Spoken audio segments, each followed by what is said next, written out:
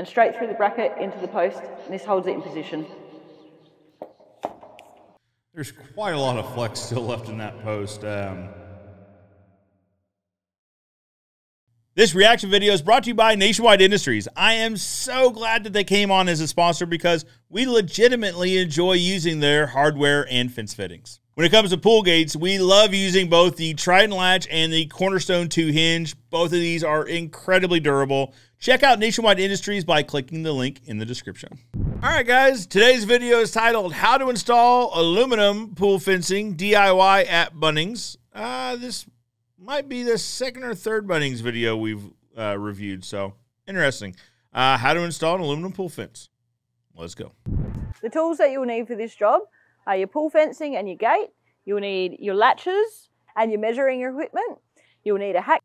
So it's important to note, I mean, obviously this video was shot outside the United States where pool codes might be different. So before you rely on videos like this or really anywhere, you'll want to check pool codes in your area to make sure that whatever fencing ideas you have meet the pool codes. Saw, you'll need a couple of clamps and a couple of blocks of wood. Of course, your safety gear. You also need screwdrivers, your fittings, and some pencils to mark out with. You also need your drill and of course your level. We want to use black screws for this. So what we've done is taken our screws, we've drilled some holes in a board, we've popped them through, and then we've used a black enamel spray just to spray over them. We've planned where we You could also just buy black coated screws. I don't know that the cost savings would warrant painting them yourself. And where we want our pool fencing to go. So now all we need to do is run a string line so we get a nice straight line and then we can set our posts. How I'm going to do this is pop a nail in between the two boards so I don't damage any of the face of the board. And then I'm going to run the string line all the way down past. Interested to see how how they attach it to the wood here, the wood decking.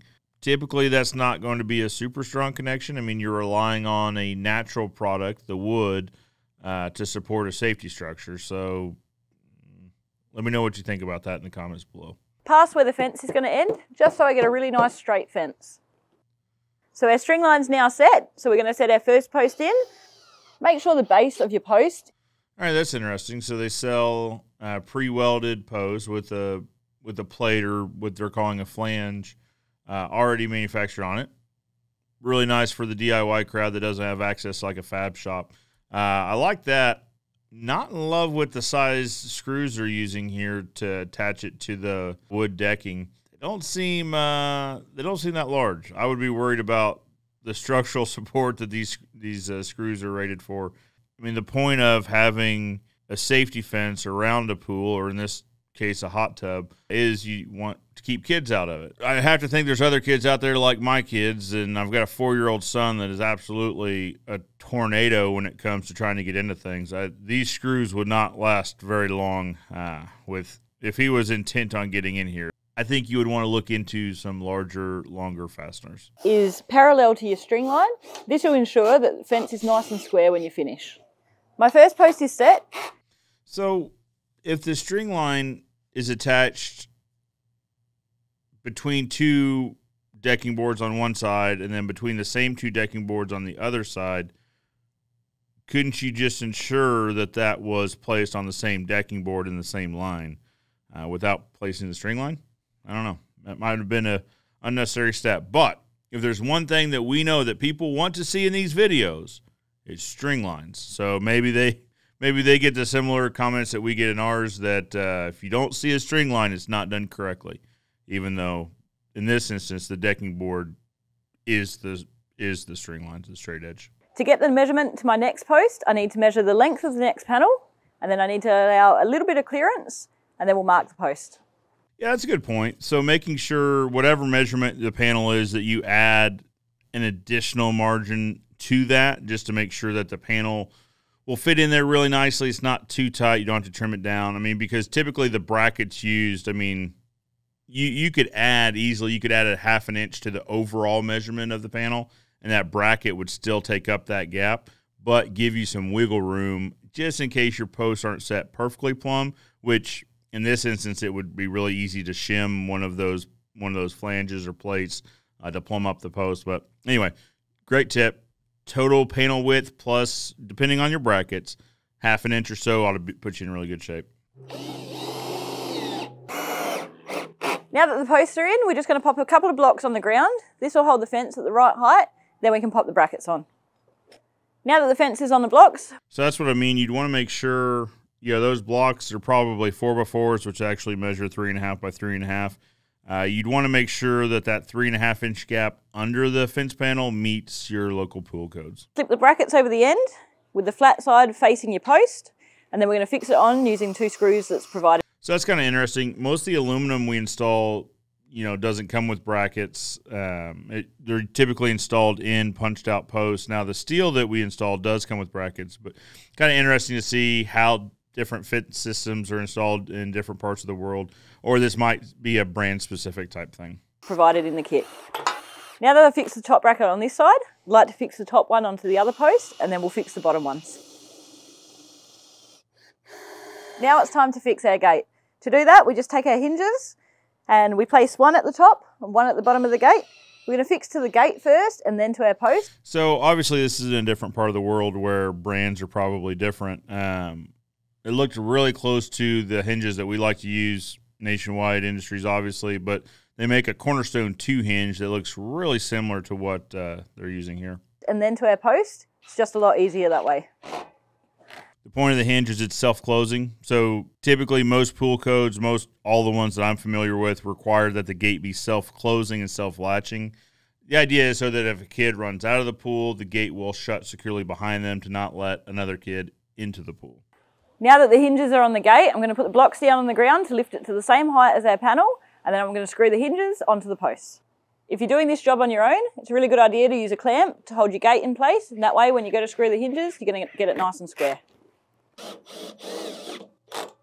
We're just going to put a post in here, and then we're going to finish the fence the whole way around, just repeating the same process. We're up to our last panel. We need to cut this panel. There's only one thing you really need to think about when cutting your panels, is that the bracket takes up a little bit of space between the pole and the top part. So you need to allow enough room that the bracket can fit on between the pole and your post. Otherwise, you need to cut a little bit off both ends. I'll just measure the gap that I've got left. So that's also a good point. When you're cutting it, we typically like to not start at one side. We typically like to cut evenly. So step in one picket and then make our cut in that opening. That way, the, the picket spacing is even on both sides, uh, if at all possible. If you start at one side and cut the other, you could be left with a standard spacing on one side of the panel, but then a really tight spacing on the other side of the panel. It's an aesthetics thing, it's not a structural issue, but it's one of those steps that'll make a big difference long term for just a little bit more effort. And then I'll come back and measure my panel. I'm going to transfer my measurement now onto my panel, checking that it's not too close to the uprights and using a white marker so it's easy to see when I cut it. This could be an optical illusion, I suppose, but it looks like the spacing is going to be much different on one side than it is on the other. I'm going to cut the panel now, so I'm just going to put my safety glasses on and we'll get cutting.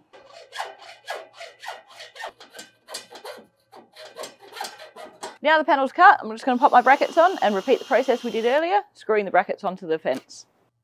I'm now going to install the gate lock. It fits on the inside of the gate. Again, brands are probably different where you're watching. Uh, we prefer the Trident uh, pool latches. Nationwide also makes an aqua latch that's fairly popular. We like the Trident 10 inch. And with the knob at the top, so that way the kids can't lift it and access the spa. I've now fit the top bracket. I'm just going to check the length of my latch again before I fit the second one, just to make sure it's in the right place. As always, check your instructions before installing any of the hardware for your gate. Now we're going to fit our lock onto our gate. All we have to do is pop two brackets onto the upright. I've got my first bracket on now. I'm going to put my second one on. Looks like a pretty similar installation method. So I wonder if it's different brand names but same manufacturer. Just make sure you always follow your instructions when you're doing this. I'm now going to put the main part of the latch over the brackets. As you can see, we've left the bottom screw because you put a longer screw through both this part and straight through the bracket into the post. And this holds it in position. There's quite a lot of flex still left in that post. Um, typically, they would include set screws that would go from the bracket into the panel to try to tie everything together so you don't see that movement in the post. We're going to fit a catch to the gate now. All you need to do is line up the line on your bracket to the line on the main part of your latch and screw in the bracket and then we'll slide the catch over. There's already a screw inside of your catch, so all you need to do is slip this part over your bracket, tighten the screw, and the catch is done.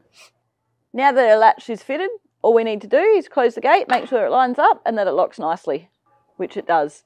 There's also an option of putting a handle on, but because this is only a 1200 high gate, we're just going to use our arms over the top because it's a nice height to open and close it. The last step is to tension the gate hinges.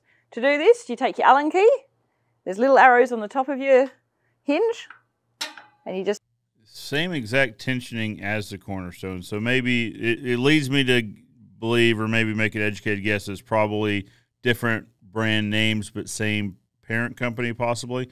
Uh, the cornerstone hinge or cornerstone two hinges, well, and the cornerstone hinges, uh, they tension exactly the same. Tighten both the top and bottom hinges, making sure that you do them both at the same tension so that the gate free shuts on its own and locks. Just in case someone leaves it open, this will ensure that no children can get through the gate. So now that the fence is built and the gate locks perfectly, that completes all the structure around our spa. All that's left to do now is decorate the back wall and fill up the spa and we can enjoy our party. Well guys, I think the installation went really well. A couple differences that we would do here in the States, maybe. Uh, let me know what you guys think in the comments below, what you would have done differently, or maybe what you absolutely agree with that they did. Uh, always appreciate you guys leaving comments. I love interacting with you guys in the comment section. For now, I'm Joe Everest, the fence expert, reminding you that good fences make good neighbors.